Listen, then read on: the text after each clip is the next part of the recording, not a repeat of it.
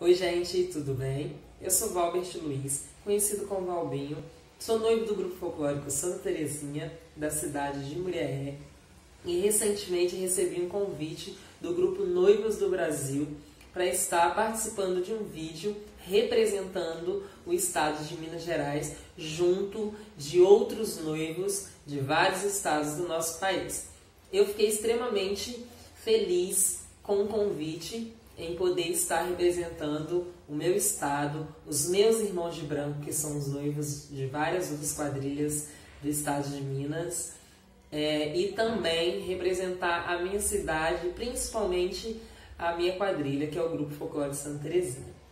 O Grupo Folclore Santa Terezinha ele está completando 30 anos este ano, no qual eu faço parte há 15 anos e hoje eu sou coreógrafo do grupo, sou noivo e também faço parte da organização. O grupo existe, né, por conta da Shirley Mello, que é a fundadora e diretora do grupo folclórico.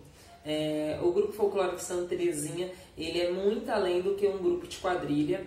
Ele é uma família, a gente costuma falar que nós somos uma família que realmente é, e ele abraça, né, as pessoas de uma forma assim extremamente calorosa.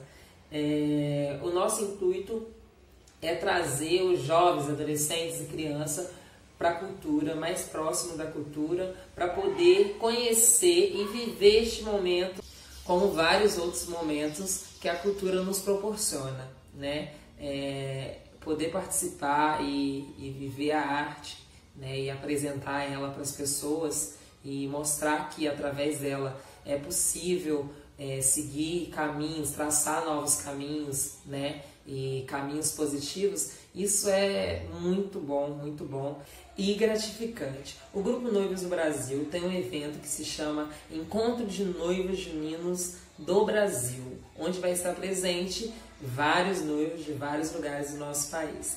É, a data foi adiada, ainda não tenho certeza se vai acontecer este ano ou no próximo ano